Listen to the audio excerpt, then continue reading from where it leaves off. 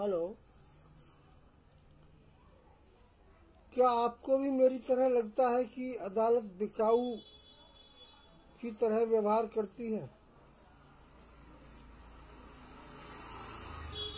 हमारे देश की अदालतें बार बार ये बताने की कोशिश करती हैं कि वो बिकाऊ हैं। यदि ऐसा नहीं है तो वो बिना मतलब की बातों में क्यों अड़ंगे लगाती हैं?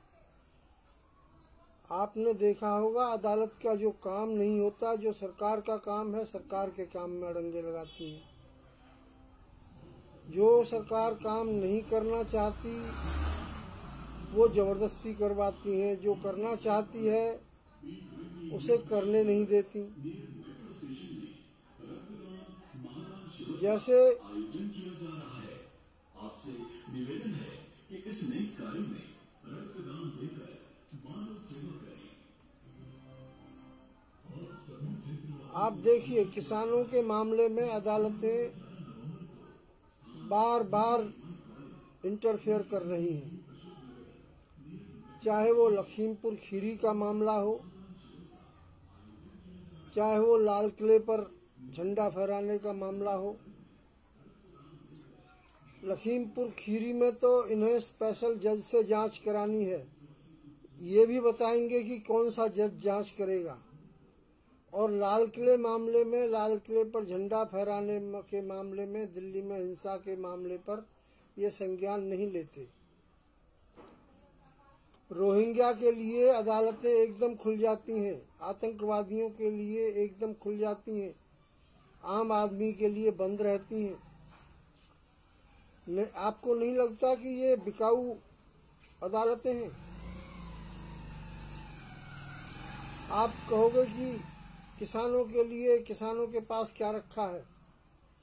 जो आंदोलन एक साल से चल रहा है, वो किसान नहीं चला रहे। वो विदेश से चल रहा है, सारी दुनिया को मालूम है।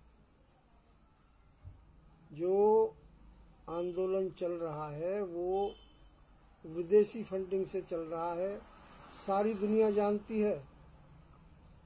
जो परेशानी देश की जनता को हो रही है बार बार की उनके रास्ते रोकने से, सारी दुनिया जानती है।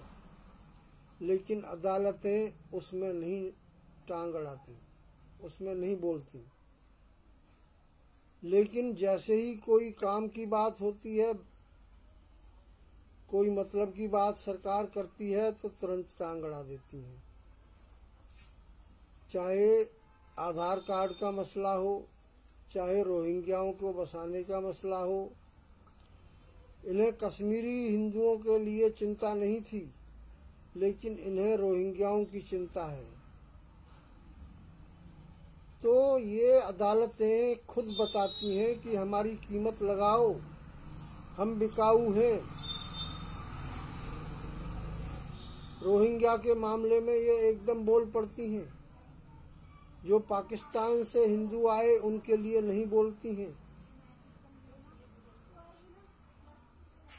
तो कहीं ना कहीं वो ये बताने की कोशिश करती हैं कि अदालतें बिकाऊ हैं।